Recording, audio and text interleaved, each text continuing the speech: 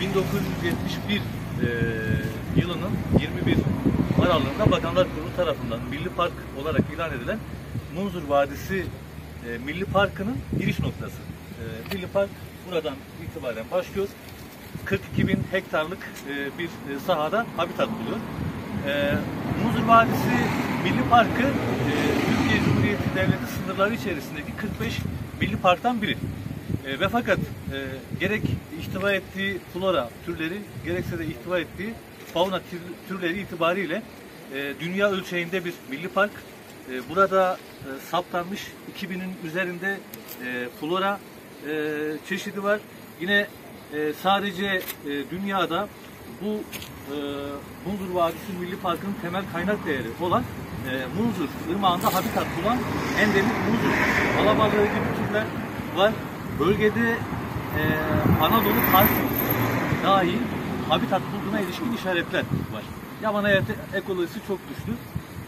E, bu bakımdan e, ülkemizin de taraf olduğu dünya kültürel ve doğal mirasının korunmasına dair sözleşme hükümleri uyarınca Dünya Kültür Mirası listesinde de yer alması gerekiyordu. Nitekim Munzur Üniversitesi akademisyenleri tarafından da bu doğrultuda hazırlanmış bir rapor var. Biz de yine e, bölgemizin bu e, havzanın 2863 sayılı kültür ve tabiat varlıklarını e, koruma e, kanunu ve ilgili mevzuat hükümleri doğrultusunda birinci derece doğal sit alanı ilan edilmesi için de e, hukuksal e, süreç e, yürüttük.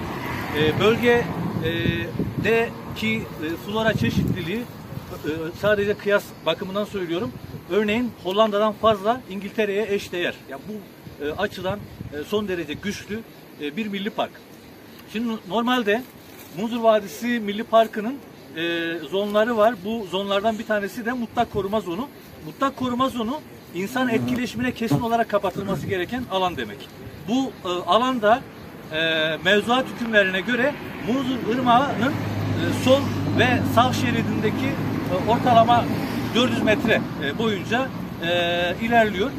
Buna rağmen mutlak koruma zonu olmasına rağmen maalesef gördüğünüz üzere son derece yoğun bir insan etkileşimi var. Tam bu noktada Munzur Vadisi Milli Parkı'nın e, resmi görevlilerinin bulunması gerekiyor. Tam bu noktada. Yani Türkiye'de ve dünyadaki bütün milli parkların e, biliyorsunuz e, korunması için e, mutlak surette e, görevliler milli park sınırları dahilinde e, gerekli kontrolleri yaparlar. Fakat gördüğünüz üzere milli parka gelişi güzel herkes e, kolayca girip çıkıyor.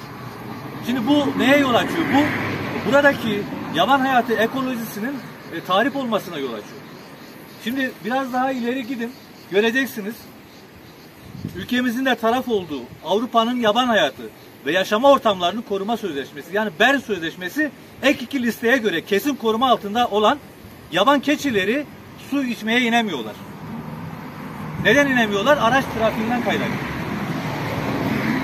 Bu çok korkunç bir şey. Ee, daha ekosisteminin önemli e, canlıları bunlar. Yine karayolu boyunca tanık oluyoruz. Bern Sözleşmesi'ne göre koruma altında olan su samurları, lutra lutralar araç çarpması neticesinde e, hayatlarını kaybediyorlar. Bu bölgede koruma altında olan yine Bern Sözleşmesi'ne göre koruma altında olan ayı türleri, başak türleri, yaban hayatı ekolojisinin temel türleri araç çarpması neticesinde telef oluyor. Böyle bir milli park yönetimi olmaz. Buradan Tarım ve Orman Bakanlığı'na sesleniyoruz. Bu milli parkın mutlaka korunması gerekiyor.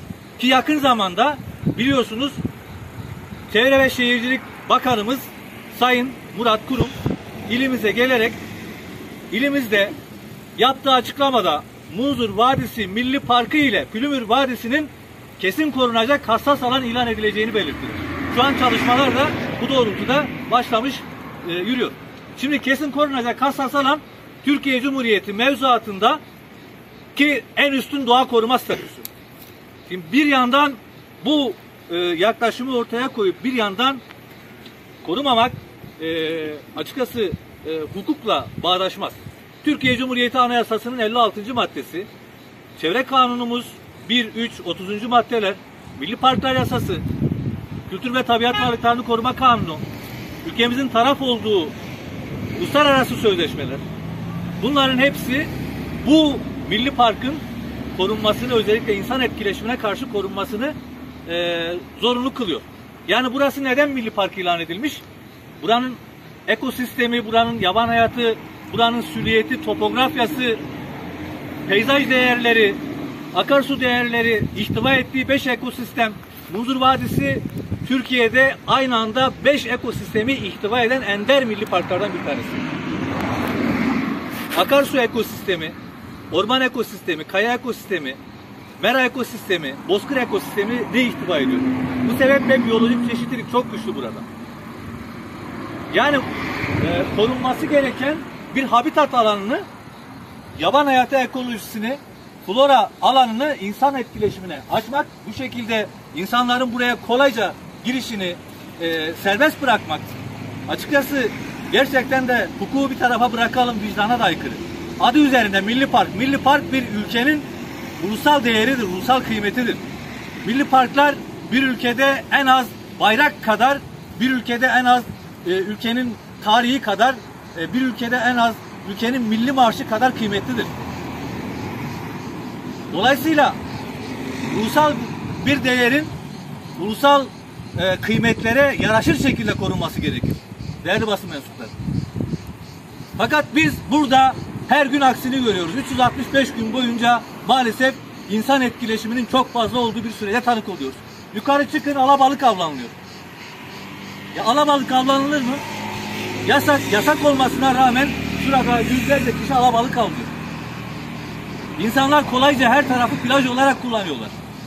Kolluk görevlilerimiz burada. Onlara da e, tabi e, buradan çağrı yapıyoruz. Bu meselede gerçekten de devletin temel kurumlarının gerekli önlemleri alması gerekiyor. Aksi halde biz bu biyolojik çeşitliliği koruyamazsak burası milli park olma vasfını kaybeder. Bakın Türkiye'de temiz akarsu kaynağı neredeyse kalmamış durumda.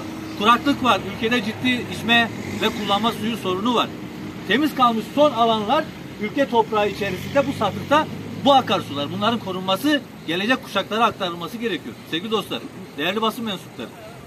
Dolayısıyla bizler yetkili makamlardan, Sayın Tunceli valimizden başlayarak tüm yetkili makamlardan, kolluk görevlilerinden, ilgili idari e, kısımlardan Munzur Vadisi Milli Parkı'nın korunması için başta 2873 sayılı Milli Parklar Kanunu'nda belirtilen önlemler olmak üzere mevzuatta belirtilen tüm önlemlerin alınmasını istiyoruz.